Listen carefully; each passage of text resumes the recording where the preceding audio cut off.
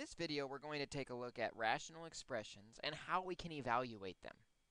A rational expression is simply a quotient of two polynomials.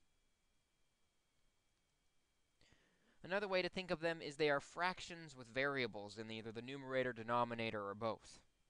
For example, if we had x squared minus 2x minus 8 over the polynomial x minus 4, that's a rational expression. And if we know what x equals, we could actually evaluate this fraction and simplify it. So if x equals negative 4, we've done this before, we can just replace every x in the problem with negative 4. So instead of x squared, again in parentheses when we make a substitution, is negative 4 squared minus 2x, 2 times negative 4, minus 8, all over x, which is negative 4 minus 4 and then just simplify what's left. Order of operations tells us to do exponents first. Because the negative's in parentheses, we're squaring the whole thing, giving us positive 16 minus 2 times negative 4 minus 8 over negative 4 minus 4. Next, in order of operations, we multiply. Do any multiplication from left to right. 16, negative 2 times negative 4 is going to be a positive 8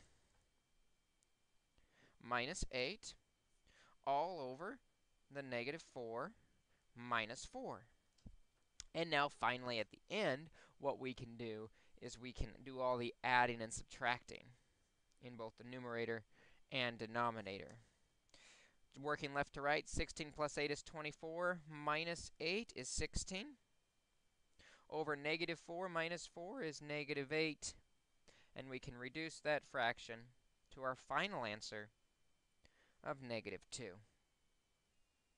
Let's try another example where we can see this substitution work out to simplify the rational expression x squared minus x minus 6 over x squared plus x minus 12.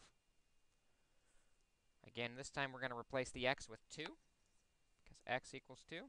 So each of these x's all the way across are going to become a 2. This becomes 2 squared minus x, which is now a 2, minus 6, over x squared, which is 2 squared, plus x, which is 2, minus 12.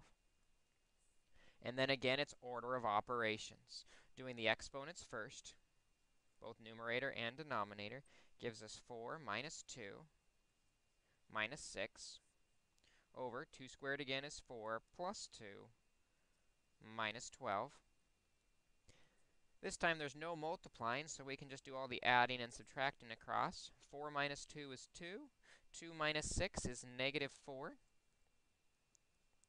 Over 4 plus 2 is 6. 6 minus 12 is negative 6. And finally, just have to reduce this fraction by dividing both numerator and denominator by negative 2, because the two negatives are going to make it positive. Gives us 2 thirds for our final solution.